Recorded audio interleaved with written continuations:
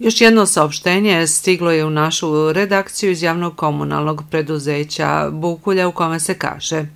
Prilikom toplog i sušnog perioda dolazi do pomeranja tla, zbog čega smo imali niz kvarova na magistralnom ceovodu FI 500 na Bukulji, koji služi za transport sirove vode iz akumulacije na filter stanicu i postrojenjima na Bukulji.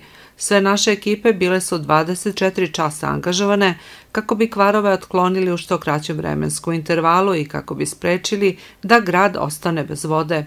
U toku popravke koja je trajala danima dešavalo se da smo zapostavili neke kvarove na primarnoj i sekundarnoj mreži grada, odnosno da nam je za popravku trebalo više vremena nego u redovnim okolnostima, posebno u prigradskim i seoskim područjima, zbog čega se izvinjavamo sugrađenima i zahvaljujemo na strpljenju koji imaju prema našem preduzeću i zaposlenima.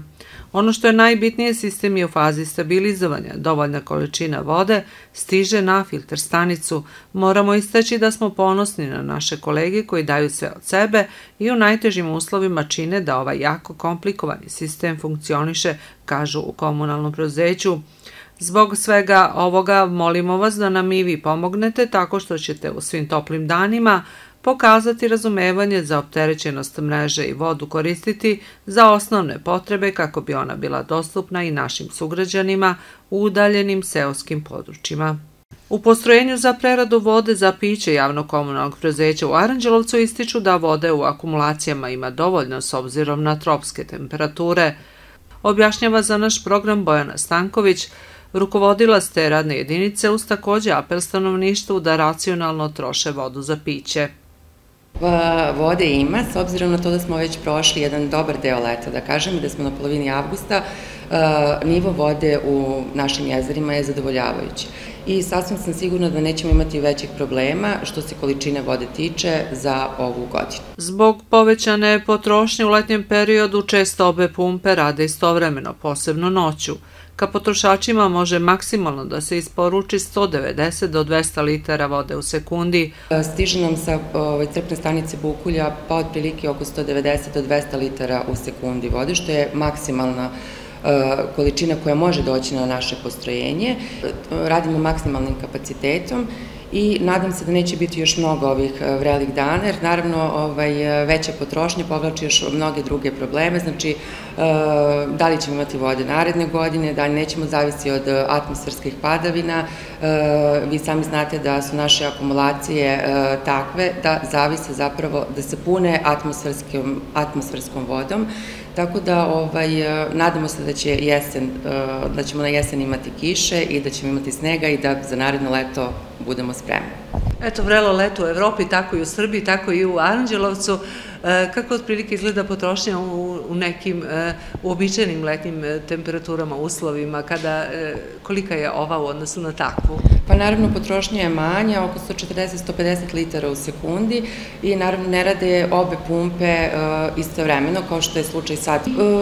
Naravno, onda ide racionalnija potrošnja, manje je zalivanje, sad imamo mnogo veću potrošnju kad su sela u pitanju, ovaj, jer se naravno polivaju bašte, pa ovom prilikom i apelujem na stanovništvo naših okolnih sela eh, da eto, ako mogu iskoristiti svoju bunarsku vodu za polivanje useva i na taj način rasteretimo i gradsku i seosku mrežu i eto, imamo neku racionalnu potrošnju. Naravno, pridružujemo se tom apelu, a da li veće potrošnje tokom dana ili tokom noći? Pa naravno, veće potrošnje preko dana, ali kažem, ovih dana e, pumpa mora da radi, i obe pumpe radi preko noći da bi se napunili koliko toliko rezervoari da bi potrošnja bila normalna u dnevnoj Iz javno-komunalnog preduzeća Bukulja apeluju na racionalniju potrošnju vode. Zbog visokih temperatura u letnjem periodu, potrošnja vode iz gradskog vodovoda značajno se povećala. Neracionalno korišćenje vode za piće, koje se koristi za zalivanje bašti, punjenje bazena i polivanje dvorišta, posebno u večernjim časovima, dovodi do smanjenja pritiska vode ostalim potrošačima, a u nekim naseljima na višoj nadmorskoj visini uzrok je potpunog prekida vodosnabdevanja, Apelujemo na meštane opštine Aranđelovac da se voda iz gradskog vodovoda koristi isključivo za piće, higijenske i sanitarne potrebe. Nadamo se da će naši sugrađani u buduće racionalnije koristiti vodu iz gradskog vodovoda i unapred se zahvaljujemo na razumevanju i shvatanju koliko je važno da svi korisnici priključeni na gradsku mrežu imaju vodu za piće na svojim česmama, kaže se u apelu javnog komunalnog preduzeća Bukulja. Inače, voda se redovno kontroliše u laboratoriji postrojenja u dve smene svakog utorka od strane Instituta javnog zdravlja Kragujevac, a biološku proveru sirove vode u jezerima jednomesečno rade stručnjaci Instituta Batut iz Beograda.